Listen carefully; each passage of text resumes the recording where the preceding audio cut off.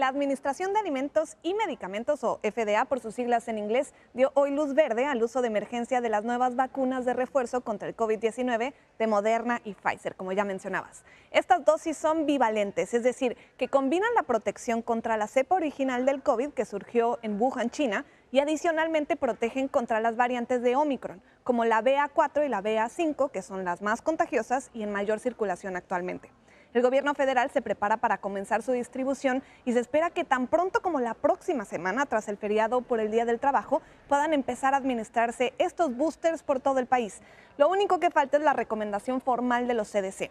Un panel de expertos se reunirá este jueves y tomará una decisión definitiva. Algunos expertos han criticado al gobierno federal, pues a pesar de que los estudios en animales han sido exitosos, no se han finalizado los estudios de estas nuevas formulaciones en humanos. Hablamos sobre esto con el jefe de vacunas para América Latina y Canadá de Pfizer. Nos explicó que no es necesario repetir un estudio grandísimo como se hizo inicialmente. Escuchemos.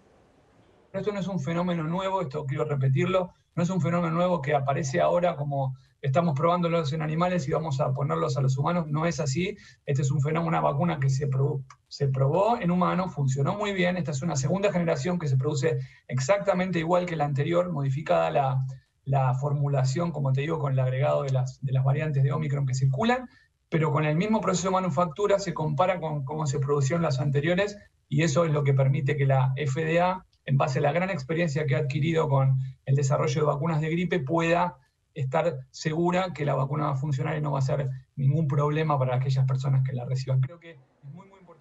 Las nuevas dosis de Pfizer y su socio BioNTech son para mayores de 12 años y las de Moderna son para mayores de 18 años. En ambos casos deben haber pasado al menos dos meses desde su última dosis recibida.